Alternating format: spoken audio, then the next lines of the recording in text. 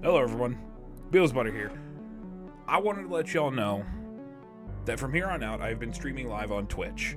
Has been going for about past few weeks, and so far it's gone well. So, I feel like if you haven't been seeing the community tab, or just have not been getting pinged in the Discord server, I think it's time I made a video now. So, here it is. Monday, Wednesday, and Friday, 4 p.m. to 8 p.m. Pacific time, or West Coast. So, come on by. As this video gets uploaded, I'm pretty much going to be live as of the 24th of April. After this, of course, just continue to stick with this schedule.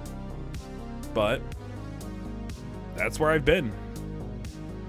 So, Monday, Wednesday, Friday, stop by at Twitch. I will be leaving the link in the description. And go on by. You don't need to sub or anything. Granted, it would be appreciated now that that's actually an available option. But, hey, it'd be nice to just have you around. So, I'll catch y'all over on Twitch. Y'all have a good one. Peace.